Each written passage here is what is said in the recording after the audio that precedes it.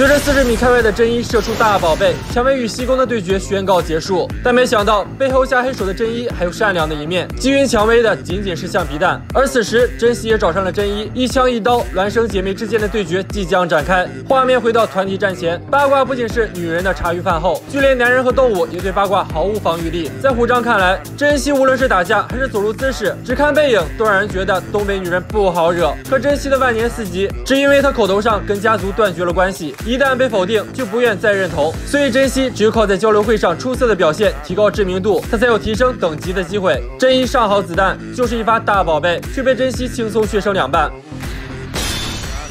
真希快速跳跃，利用树木隐藏身形，随后一记快刀将真一打落地面，随后狠狠一记陈年老脚，将两人拉入回忆。原来真希从小就不会术式，甚至连诅咒都看不到。双胞胎在家族中就是个三十六计的大胸罩。但真一跟姐姐真希不同，天生就可以看到诅咒。可即使天赋异禀，却时时刻刻在看不到诅咒的真希的保护下成长。而成年后的真希厌恶了打杂的生活，决定暂时离开家族。等到回归之日，便是取代家主之位之时。而他离开之时，并没有一起带。上真一因爱生恨，形成了今日姐妹对决的局面。真一对着丛林就是一顿突突突，真希借助地形拼命躲闪。在真一射完全部六发子弹后，真希动了，可真一却射出了第七发子弹。这正是真一的构筑术式，使用自身的咒力从零开始构筑物质。可这术式消耗剧烈，对身体的负担也很大。对于真一来说，一天一发已经是极限。可就是看似凶猛的一招，却被东北女人一拳握住。